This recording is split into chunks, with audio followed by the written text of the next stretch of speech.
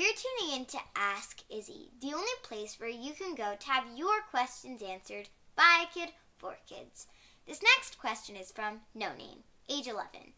Dear Ask Izzy, my friend and I were going through my mom's drawers last snow day when she was at work and we found drugs, marijuana. My says that we should report this to the police without using our names, but I don't want to get my mom in trouble. I'm really worried. I don't want her to get in trouble, but I also don't want her doing drugs. I can't tell her because she will ground me for life if she finds out I went through her stuff. Please help. Dear No Name, listen, I know you're in a tough situation, but to be honest, the only person to blame is yourself. You shouldn't have been going through your mom's stuff in the first place.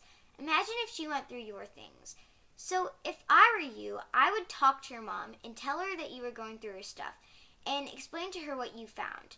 Now, tell her that you don't agree with her decision, and if it bothers you this much, tell her to stop.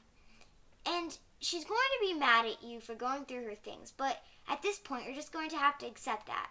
Now, accept this whole thing as a life lesson to never go through anybody else's things without their permission.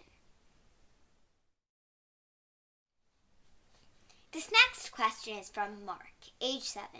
Dear Ask Izzy, I'm short and I can't grow. I'm shorter than all my friends and I stick out. My mom says I'm growing every day, but I check and I'm not. All superheroes are tall like Batman. I want to be taller. Dear Mark, I'm not the tallest person for my age either. I think I'm four foot eight and I'm 11. So you'll grow eventually.